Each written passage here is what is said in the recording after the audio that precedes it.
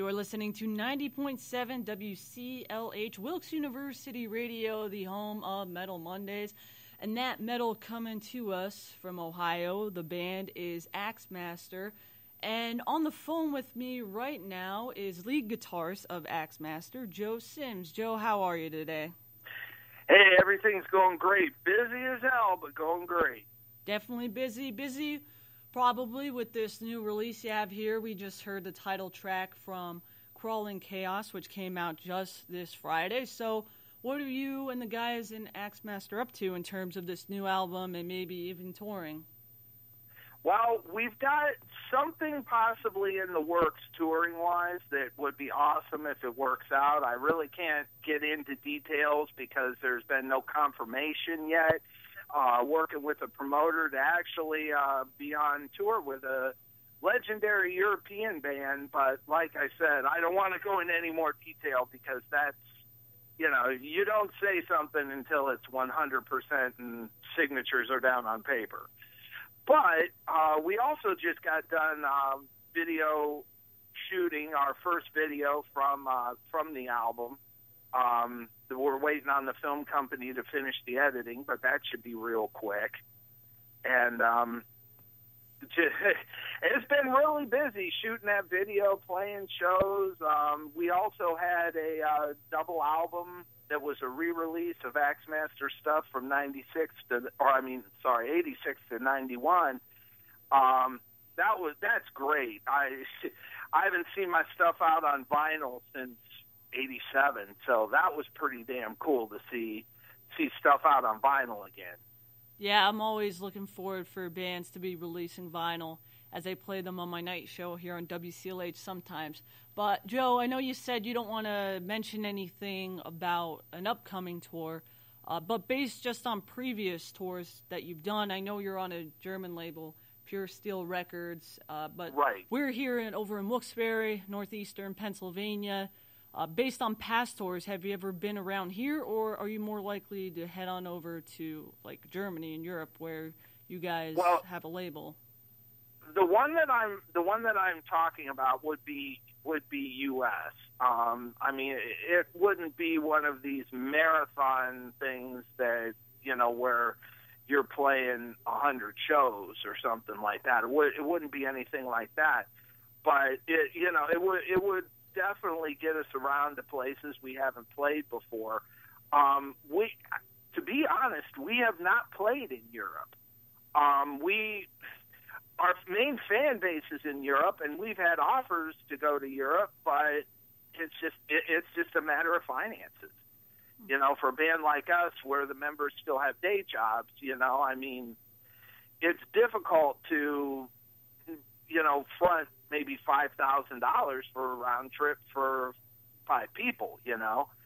So, you know, that's something that we're that we're definitely wanting to do. Like I said, we've had offers there, we've had offers in South America. Um, we just have to find one that you know this is a business, and we have to find one that makes sense financially. You know. Yeah. So I hope you get over there to Europe. And in terms of PA being neighbors with Ohio, what's the closest you've ever been to the Wilkes-Barre Scranton area? Oh, let's see. Well, you say you say it's in uh, eastern Pennsylvania. Yeah, northeastern. We actually got we actually got destroyed by a semi truck on the way home from Delaware in eastern Pennsylvania. yeah.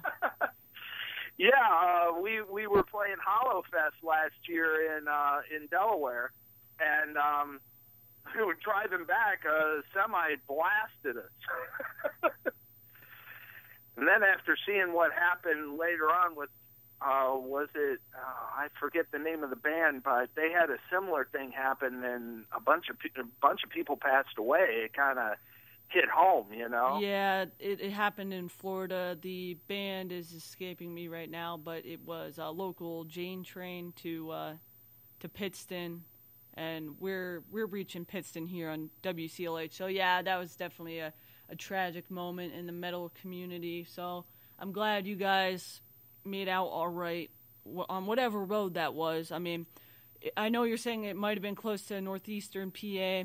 My thought Uh, my dad always mentions the uh, Schuylkill Road. He likes to call it the Schuylkill Road, kind of heading towards Philadelphia, but maybe I don't know if you if you recall Wasn't exactly far where. from Philadelphia. yeah, well, wasn't that might have been it there. then. Yeah.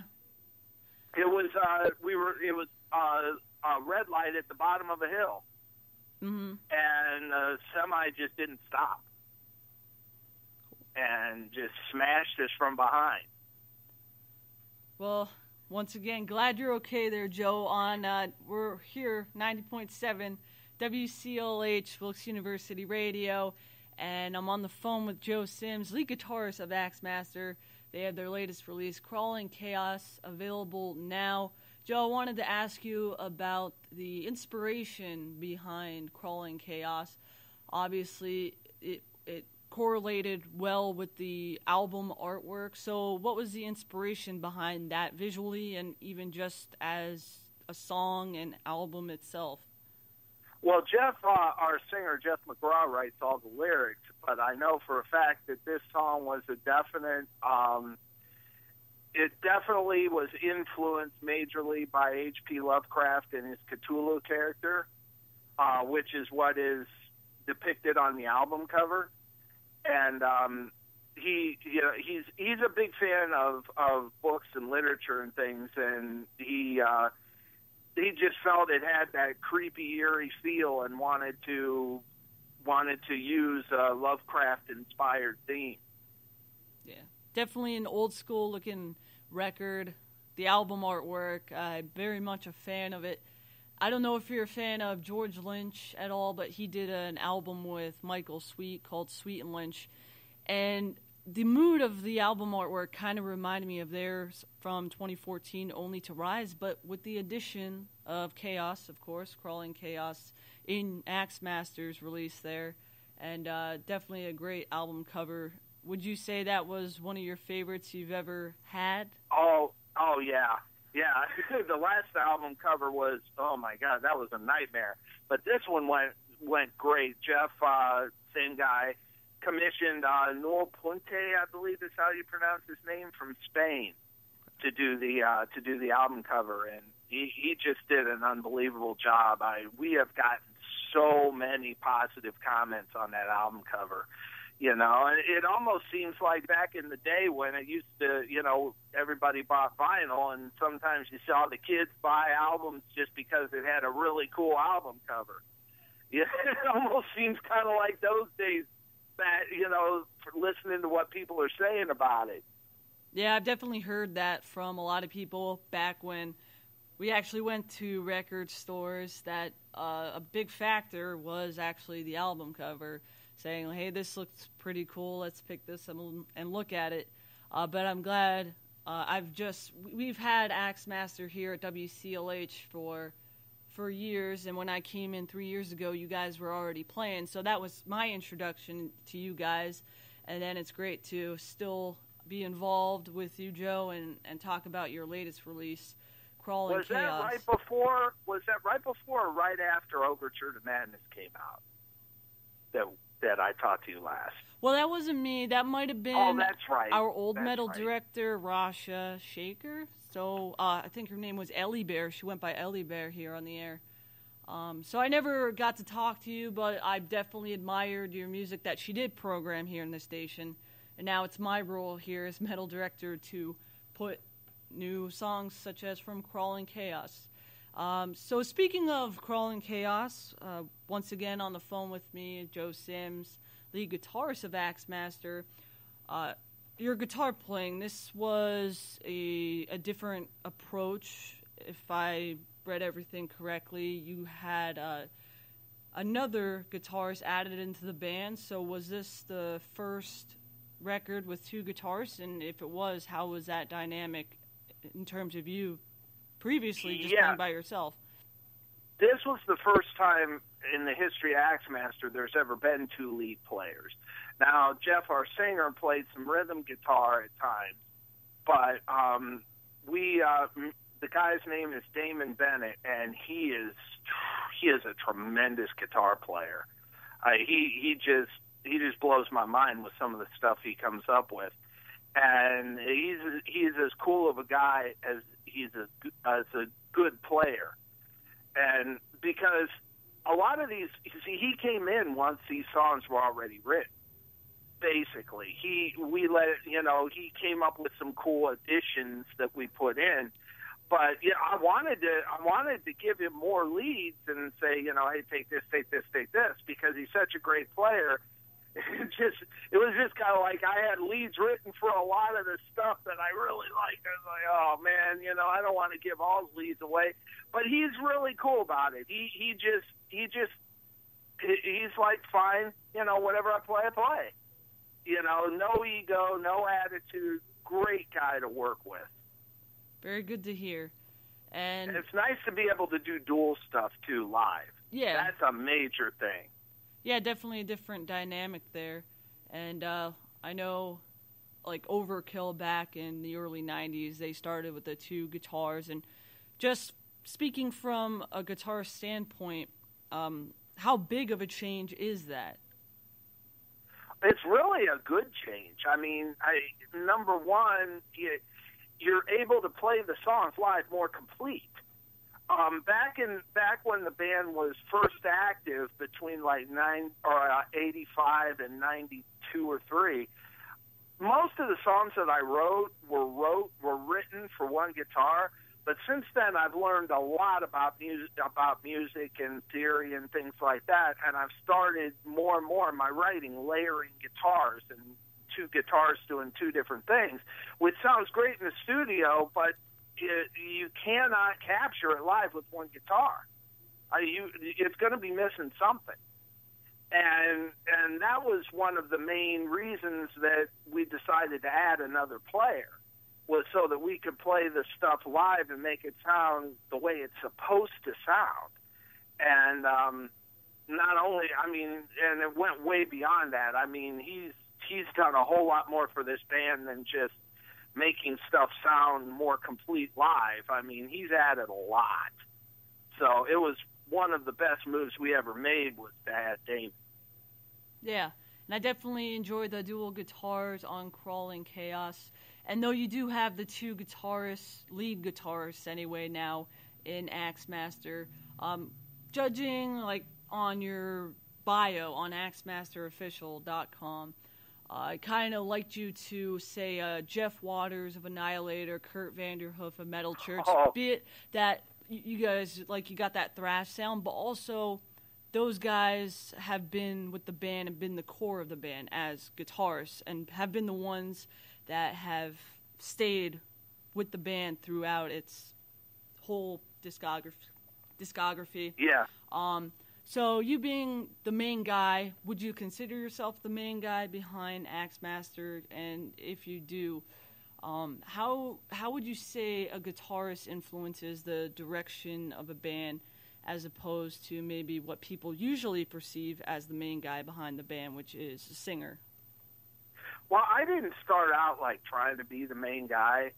Um, basically, I it started by me in high school having a bunch of original songs and wanting to put a band together to play them. Um, and that's how Axemaster actually got started. But as time went on, I wrote I wrote probably 90% of the old music and 70 or 60% of the lyrics and I got involved doing all the promotion and you know doing all the marketing and all that. So my name and my face just kind of got associated with the band, and um, as as the main guy, and plus I'm the only one that's been on every album that the band's ever done. It, anytime there has been an active Axemaster, I've been in it. And really, with the guys that I'm with now, I try not to act like the main guy because everybody everybody does their part and everybody does uh, basically more than their part. You know, it's it's really it's a group dynamic. It's not like one member with playing with a bunch of guys. I mean, this is really truly a band. It's not a glorified solo project. And, you know, I mean, I still do a lot, you know, most of the writing, at least the music Uh, Damon's going to be adding a lot of his own stuff on the album we do next, but um, you know, I I really everybody says, well, you're the leader of the band. Well, you know, I try not to act like that because everybody is is as important as everybody else, you know, and I like more of a uh, democratic type of structure in a band. I like that a lot better than being me being the guy that is responsible for everything and has to okay everything, and uh, it, that's it's just too that's just too much to try to try to do that completely do all the promotion all the writing. Plus i i i per, know, i do production for the band and all that. Shit after a while i mean there's only 24 hours in the day you know and to be able to have a whole band that everybody pitches in and does different things is such a relief because that's not always been the case in bands I've been in. Definitely. Well, I admire your outlook on your band and how you guys work together. Uh, so, once again, to anyone just tuning in, I am on the phone with Joe Sims, lead guitarist of Axemaster. Um, so, kind of wrapping this up a bit, I'd like to say I'm more of a new fan to Axemaster because uh, I, I was sent this Crawling Chaos and all the great songs on that. But it was kind of hard for me to find some of your older stuff, but I've been getting to it, but I haven't listened to it.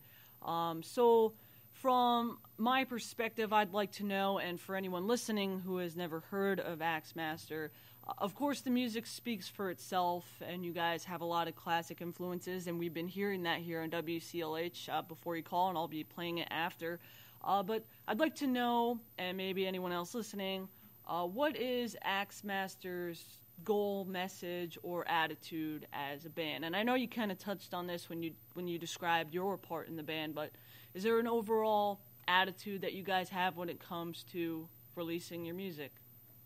Well, it, it comes down to that everybody the main the one thing that everybody is con- well, no, I take that back. Two things that everybody's concerned about is one we just want to make the best music and the best releases, the best show, whatever that we can possibly do.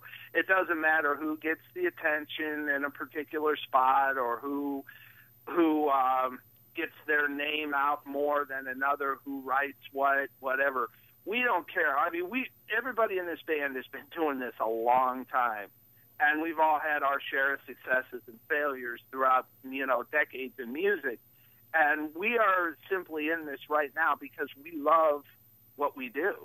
And we just want to make the best music and play the best shows possible. And nobody really cares who gets more credit than the other person. It, you know, as long as the band is getting the credit, that's what everybody cares about. There, nobody is out for themselves ego wise which is amazing in a, in a rock band. Let me tell you what. And uh, the other thing that we're all about, we've always been all about the fans. Um, we're always approachable, whether it be at, at shows or over the internet or whatever. You know, anybody want to talk, anybody want to ask us anything or know about anything, we're always there to talk to people because you know, we we came through this. You know, what I think a lot of musicians forget is they started out as fans. You know, and they lose they lose sight of how much sometimes it means to a fan for a band to be approachable and will sit there and BS with them. You know, and um, we to me that's one of the greatest things about being in a band. I've made so many good friends and met so many cool people it, it, we we definitely are always open to do you know to talk to anybody, and uh, that's that's a that's a big deal to us too. Yeah, that's definitely great to hear, and for myself to relate to that. I was over in Allentown a couple months ago to see Raven, and those guys, like Mark and John Gallagher, were just walking around the venue before hanging out, and I'm sure that's the same kind of atmosphere that you guys uh, in Axemaster do with your fans.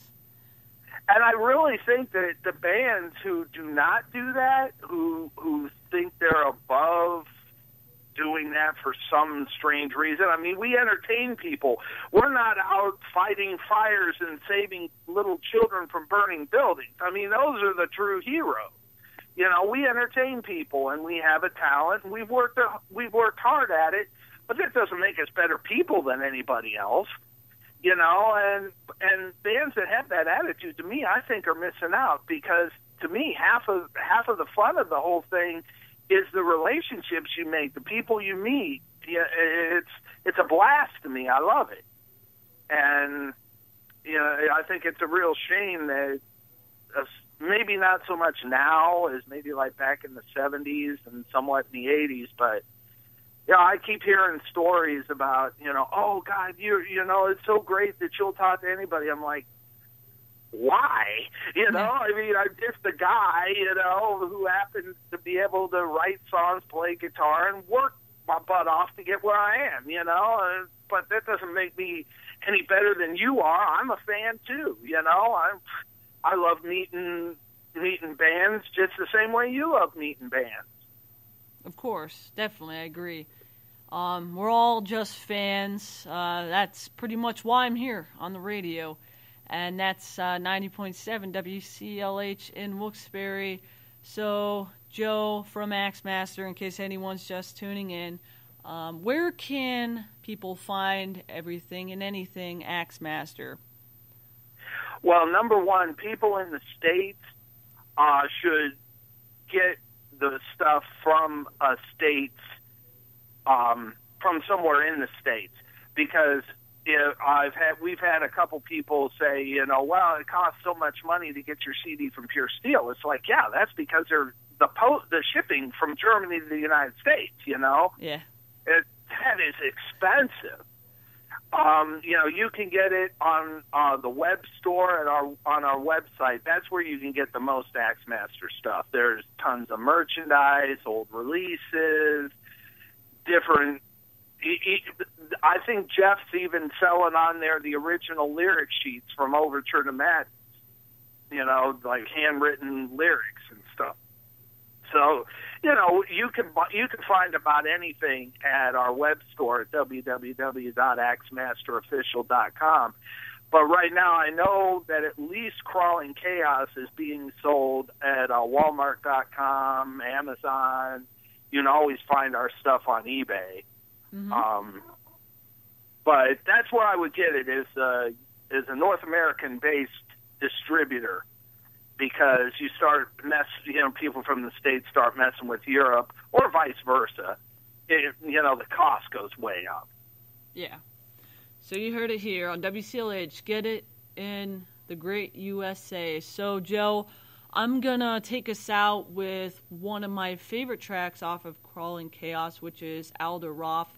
And uh, to explain why it was my favorite, just going through the tracks initially, the opening riff, the triplets, kind of reminded me of an Iron Maiden ish uh, yeah. kind of feel because of the triplets. But then it, with the first change up there, it took a different turn. And from what I've heard, it seemed to take an Axemaster turn in tor- terms of like the chord progression. So, do you have any word on this song specifically before we end this and I play Alder Roth? It's actually one of my faves too. Um, that that song really got us back to our roots because the band the band originally was almost like a kind of Black Sabbath, Ronnie James Dio, Iron Maiden mixture. And then as I got progressed in music and then got to Overture, I started really getting into thrash as well. So there was a lot of thrash involved in Overture to Madness. But this song is really back to what we were doing in 1987, 88, that type of thing with the, you know, the crunch and the chords being, instead of being crunchy, being played just straight out. It yeah, if you like if you like traditional '80s heavy metal, such as like a new album band like Iron Maiden or Ronnie James Dio or somebody, this you will dig this song. Definitely, and I definitely digged it. So that's what we're gonna hear. coming up next. But first, I'd like to thank you, Joe, for being a part of Metal Massacre here on WCLH. Any last words? Well, like I said, uh, you can you can uh, check out our website at axemasterofficial.com. From that website, you can get to our Facebook, our YouTube channel, which is kind of cool because there's some stuff there from like 1985, the kind of vintage stuff. And our our new video will be on there probably, uh, definitely within the next few weeks. Um, you know, but feel free to get in touch with us. It, it might take me a while to return all mail, but I always return all mail. That's the way I've been ever since I started this back in the middle 80s. Okay, sounds great. I'll check it out, and anyone in Wilkes-Barre out there will be checking it out, listening to Metal Mondays here. So, once again, thank you, Joe Sims from Axemaster. And up next, I have from their latest release, Crawling Chaos. It is Alder Roth. Keep it locked right here on 90.7 WCLH.